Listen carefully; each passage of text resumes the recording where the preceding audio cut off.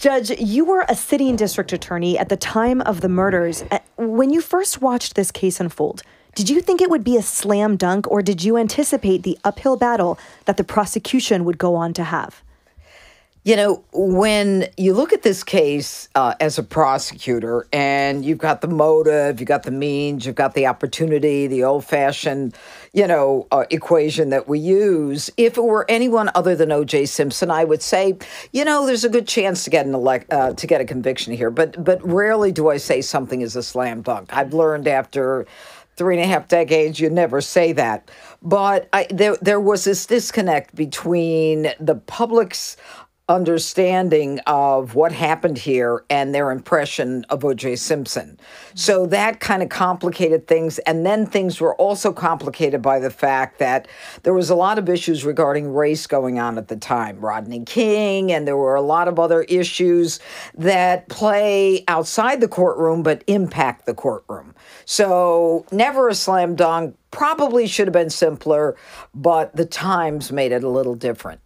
And so, all right, picking up on sort of the racial undertone point here, a controversial part of the trial was the recorded conversations of then LAPD detective Mark Fuhrman. Yes. How did those tapes force the spotlight on those racial undertones that characterized the trial? Well, you know, Mark Fuhrman was an excellent detective. He was a veteran detective. He had a lot of years of experience. Uh, and what those tapes did was pretty much shock everyone. And we knew that all of a sudden there was this 300 pound gorilla in the case that didn't belong there. It didn't need to be there, but that was going to change everything about this trial.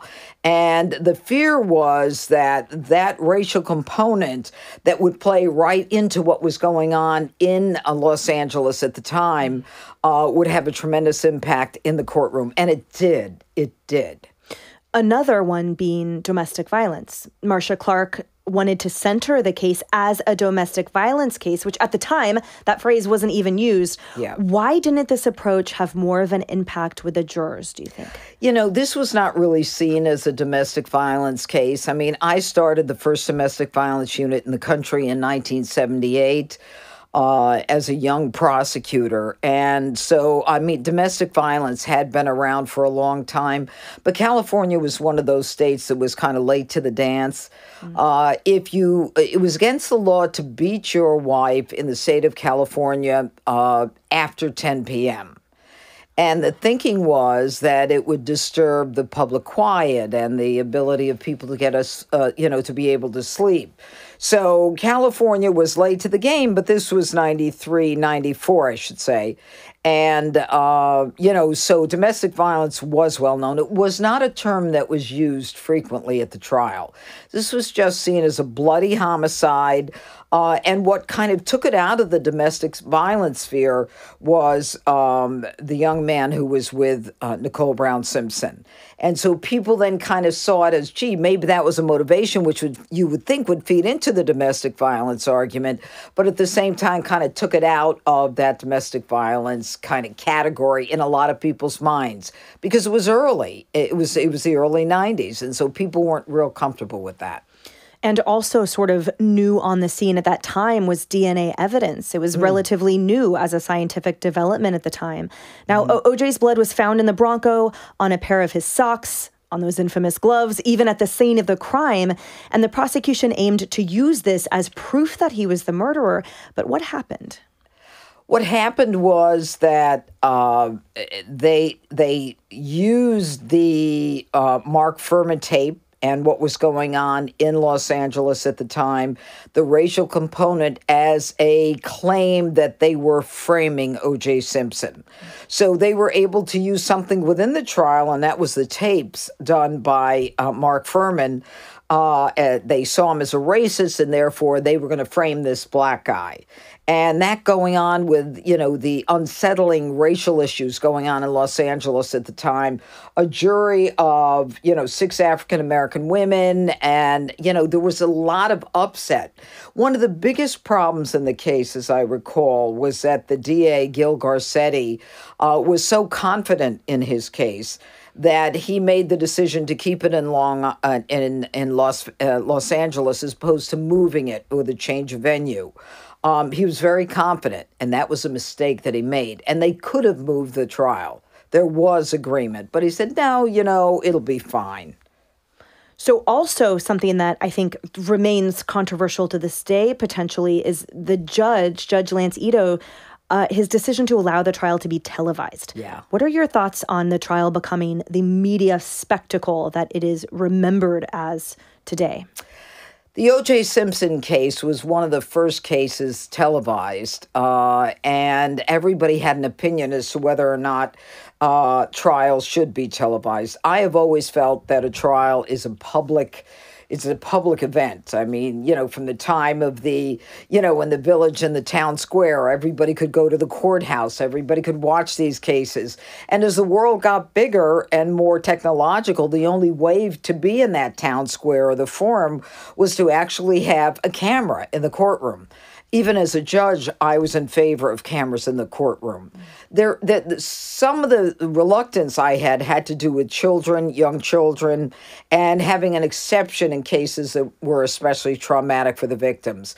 Obviously, people play to cameras some of them do. Some of them forget the camera's even there. So it was a question of how obtrusive it would be and whether people would be playing to it. This case took a lot longer than it should than it should have. And Judge Ito, I, I remember the big joke was the dancing Itos they made. The judge, I mean, I don't even remember now why they called him the dancing Ito. Um, he was a little, I think, uh, beyond what he was capable of in that courtroom. But um, in the end, I see this as a good thing because it started all of this interest in criminal justice, which at that point has been had been my life for almost two decades. Uh, and it was something that brought the public into the crime thing. And then we saw these real true crime stories and all that other stuff come come into the fore. Before that, it was a very small piece of you know the the public you know information as to what you could get involved in. You know there was cars and there was celebrities and there was this and that. But now everybody was into what i loved which was you know crime law enforcement and the ability to solve crime. Uh, so being on television i thought was a good thing. I also thought it was a good thing so that the the, the public hearing about you know these prejudiced Los Angeles cops could actually see them on the stand, listen to them, watch their demeanor. I mean, for what um, Mark Fuhrman said on those tapes, he was still an excellent cop. You couldn't take that from him, but he watered down the whole message and hurt the trial. And at the end of the day, you know, to your point, so that's what America was watching, but what mattered was what the jury was watching. So, what are your thoughts? You know, the jury deliberated for less than four hours. What are your thoughts on at the time, first of all, did you think that they, when you heard that a verdict had been reached, did you think it was not guilty or did you think it was going to be a conviction? And what's your analysis on the, the jury makeup at the time? You know, I would have to look back. I remember that I I had done television on this virtually every night. Uh, and Geraldo Rivera was one of the first with something called Rivera Live. I think it was on CNBC and um, it was something that I was very connected to. And I remember thinking that they had a great case. Uh, they had a dream team, but I remember being so impressed with Marcia Clark. She was a very impressive prosecutor, very quick, very knowledgeable. Uh, I was very proud of her because it was the early 90s and not that many women were out there trying homicide cases. And uh, so I remember sitting at CNN with a couple of other of the, you know, talking heads, and the verdict came in. And as always, I accept the jury verdict. I don't criticize it. I don't, you know, it's not up to me. The jury made the decision that they felt was the right decision. I couldn't help but think, though, when they said not guilty, that, you know, if the, if the glove doesn't fit, you must acquit nonsense. And, you know, I grew up in upstate New York. I don't know if you know anything about upstate New York, but by pretty much by Halloween, you had to wear a winter coat. And I remember that date because I could never wear my costumes. There was always a coat over. It was always snowing. So I knew that if if the blood if the glove were wet, the blood would shrink the glove. And so any leather glove that gets wet shrinks. And so I knew that whole thing was ridiculous. And I did not know it at the time. But subsequently, we came to find out that O.J. Simpson was told to get off his arthritis medication so that you know his arthritis was even more pronounced and his hands were even bigger than they may have been at the time. Um, I I disagreed with the verdict. I accept it. It was the right verdict based upon these people who heard the evidence. But I also think that there were so many other emotions going on in America, so many other things playing that um, this jury of six African American women and two African American men, I mean, that's the majority of 12 you know, if this was uh, two people basically paying for the sins of their fathers, that we were going to make sure that a black man was not prosecuted and convicted because of all the racism in, in America.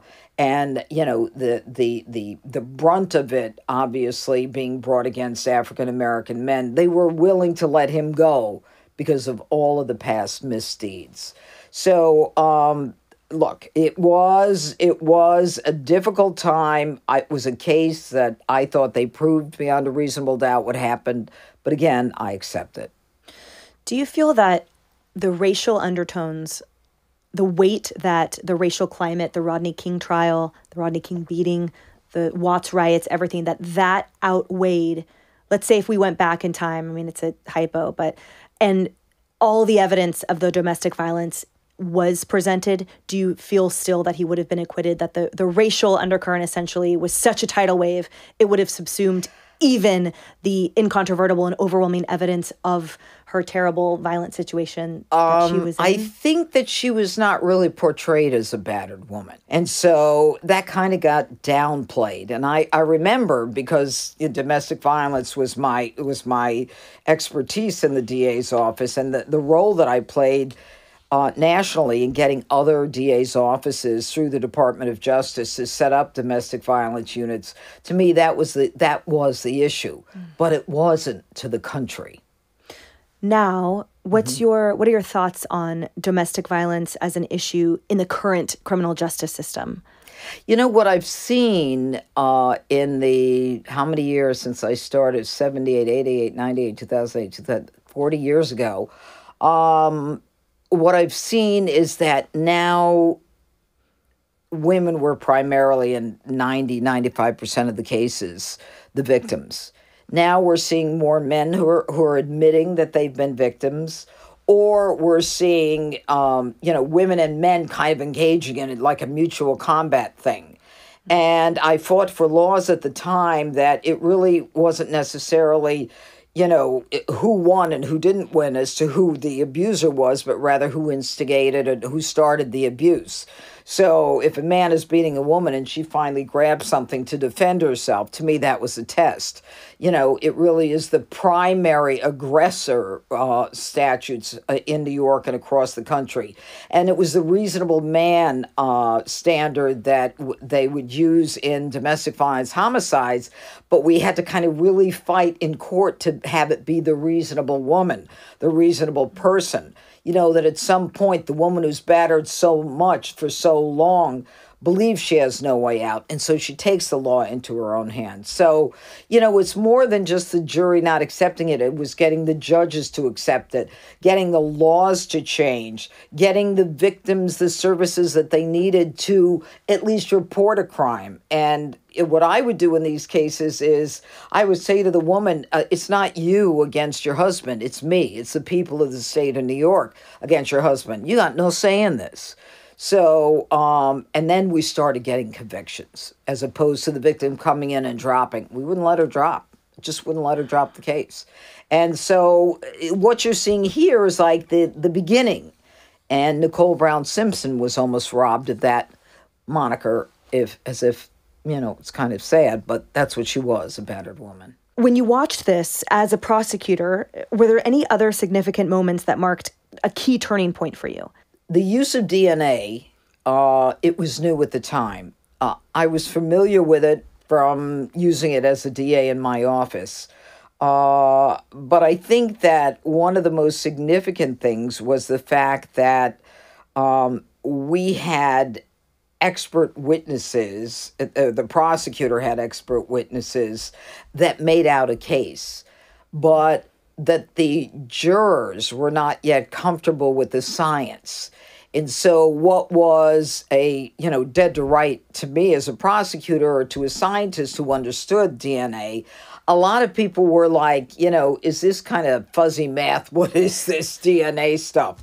You know, I always said uh, when it came out, I remember in 80, 1986 it came out, and I remember saying it's the finger of God pointing down and saying, you did it or you didn't do it based upon DNA. I don't believe that the jury was felt it was as compelling as those of us who were used to using DNA felt it was. Um, and I also think that um, the O.J. Simpson, you know, a year in that courtroom or however long it was, it was very, it was months and months. Uh, smiling, laughing, jokes, you know, the extended trial. I mean, I just remember saying at one point to myself, they're like family now, the jury and the defendant. You know, it's uh, everyone was afraid to kind of go above and beyond uh, because of what Mark Fuhrman had done. You know, so they, they couldn't get the final, you know, this is it, there's no question about it. Uh, but you might want to ask Marcia Clark that question. I'll bet she's in a better position than I. What I do remember is I had just become the DA, and it was the summer, June of uh, 1994 and one of my prosecutors came out. He said, Boss, he said, You're not going to believe this, but OJ Simpson's in a white Bronco and the cops are chasing him. And we were all like, What?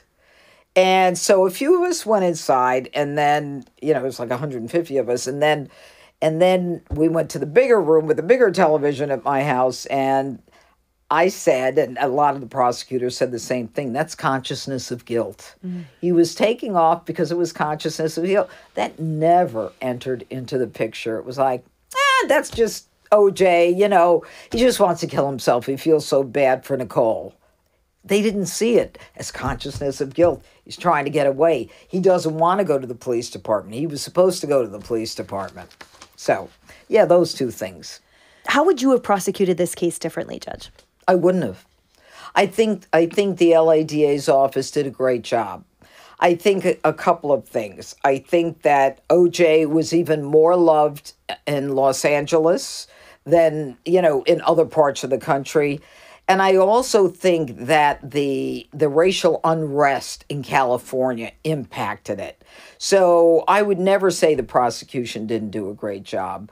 Um, and and by the way, as much as I fought with people like Johnnie Cochran and Alan Dershowitz, who was in that, and Shapiro, and um, and even F. Lee Bailey, um, I became friends with all of them because you know we were we everybody was fighting the good fight, and the DA's office didn't go out uh, where the defense attorneys might go out. And so they had people like us go out there. And so many people who were lawyers at the time went into television and got their start. I stayed where I was, you know, for another, I don't know, 12, 12 14, I don't know, 18 years, whatever it was.